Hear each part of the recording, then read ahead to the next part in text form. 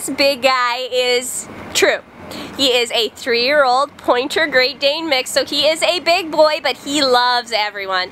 Loves to be petted and scratched. That big tail is always wagging. He'll even sit when you're giving him some attention sometimes. Just a very good-natured boy. He does have a playful side though. He loves to be out here and run around. So he would be great in a home that could definitely take him for long walks, teach him how to play fetch or frisbee, just spend some time with him. While he's been here at the Humane Society, he does prefer to go to the bathroom outside, and he does walk nicely on a harness. He seems to already know how to sit on command, so he does seem to be a pretty smart boy, and we're hoping he'd be pretty trainable if you wanted to teach him something in his new home. He has a beautiful coat and such a sweet, loving personality. He's going to make someone a terrific new pet.